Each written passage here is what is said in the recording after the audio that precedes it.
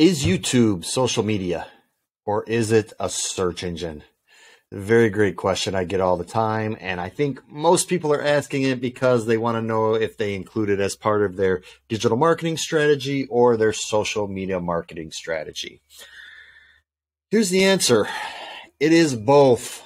It is actually something within its own category. It's not social media by itself, it's not a search engine by itself. Now, let me explain. Google is the number one search engine. We know that. 80 plus percent of searches go through Google. MSN, though, isn't number two. Bing isn't number two. Yahoo, DuckDuckGo, none of those are number two.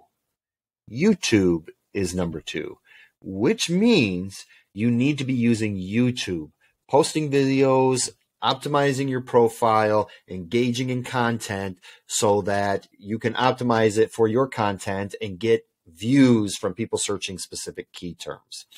Now, social media aspect. You can like videos. You can comment on videos. You can share videos. Um, you can post content, obviously. You can comment on other people's videos. You can like and subscribe people's on people's channels.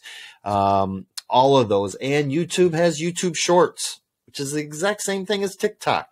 You can have two phones open at the same time, scrolling through. They looked exactly the same, the, the same sizes and everything, all ready to be viewed on your uh, phone. So the answer is it's both. It's neither. It's in a category all by itself. So, should you include it with social media marketing or for search engine optimization? You have to include it in both. Number one, make sure the profile is optimized for specific keywords. Make sure when you post your videos that you optimize the videos for specific keywords.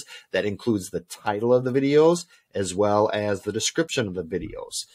That's taken care of. Now you have to look at the social media side social media marketing. We want to make sure our profile is optimized. We want to post content. We want to engage and we want to run advertising. Those are the four things. You obviously have the profile from treating it as if it's the search engine. You've optimized it.